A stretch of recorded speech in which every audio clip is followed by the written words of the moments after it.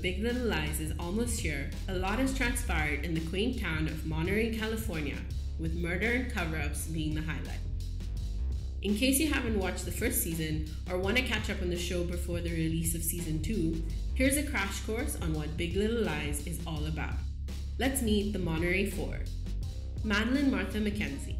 Played by Reese Witherspoon, Madeline is a consummate supermom, able to juggle tasks with envious ease. But is there a ripple under that perfect surface?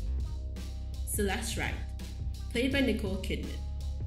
Celeste is a model of calm and elegance. She is the wife that other wives moan about.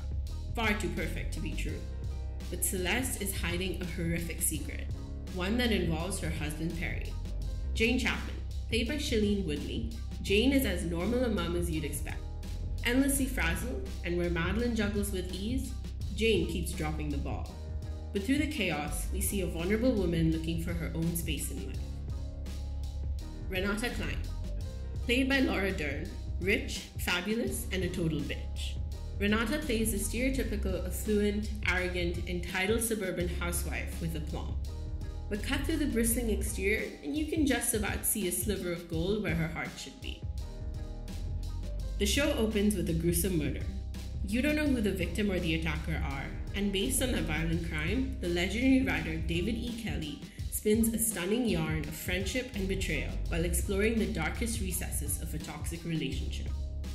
As the series unfolds, Celeste's brutal relationship with her husband Perry unravels until there is only one possible conclusion. Celeste tries her best to hide her abusive relationship from her friends, who are each managing their own personal issues but over time, it becomes increasingly difficult to cover up. The series culminates in an ultimate violent showdown where Celeste's friends rally to her side. In the end, Perry lies dead at the foot of a flight of stairs, having been pushed down it by Bonnie Carlson, Madeline's ex husband's new wife.